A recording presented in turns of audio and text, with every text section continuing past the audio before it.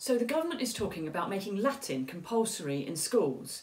And the argument seems to be, well, here is some instance, some weird instance in which being able to speak Latin was terribly useful to me. I was able to understand the motto of Cirencester Town Council. I mean, great, but we really should be asking the question, is there anything else we could learn instead that would be more useful? Because the curriculum is already pretty full and students are in the middle of having had their education massively disrupted. Maybe we should be prioritising the most important things. And there's a couple of things I can think of that I feel like it would be really important to teach more of. One is modern languages that you can actually use if you want to travel, if you want to communicate with people, and if you want to work with people. And these days, that includes online. The more languages you can speak, the better. And Latin, unfortunately, doesn't really get you very far in that respect.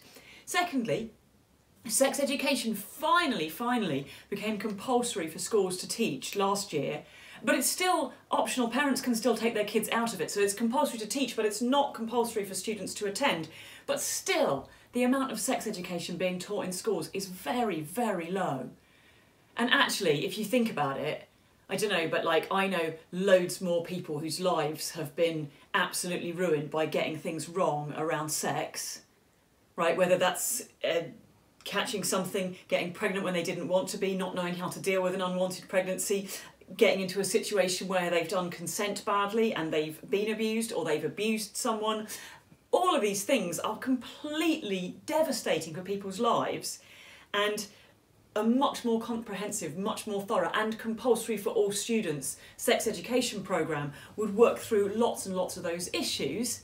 There's so much where we could be prioritising what is more important. And I think in a lot of ways, this Latin issue actually highlights a much bigger issue that's been going on for a long time, which is that the Tories totally overhauled the national curriculum and some of the stuff they've put on it is just absolute nonsense. It's obviously there just to pander to their own weird ideology about how everything was great when they were at prep school and why can't children have tuck boxes and why don't we all play lacrosse?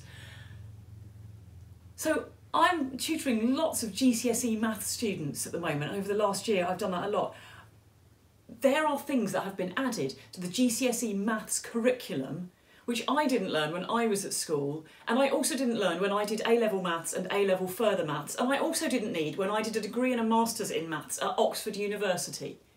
But I had to go and learn manipulation of surds, circle theorems, triangle congruences, so that I could teach GCSE maths. And you know what isn't on the GCSE maths? A really good, solid understanding of how to write a profit and loss account, how to balance books, how to add up a budget, how to look at tax payments, how to calculate VAT. That stuff is going to really give you life skills that you could actually use in life. I have never ever seen anybody going, quick, it's an emergency. Are these triangles congruent? Is the angle at the centre the same as the angle at the circumference? What could the difference be? Those things are never crisis questions, but oh shit, I think I'm pregnant. I've heard that a lot over the years. So I just think maybe we could throw out the Latin and learn something more useful. And I understand that the government are saying it was so useful for us when we were at school, but they don't know how to manage a pandemic. They don't know how to make sure people don't end up in poverty. They don't know how to stop thousands and thousands of people dying unnecessarily. So I can't help thinking that they did the bloody wrong subjects at school. See you next week.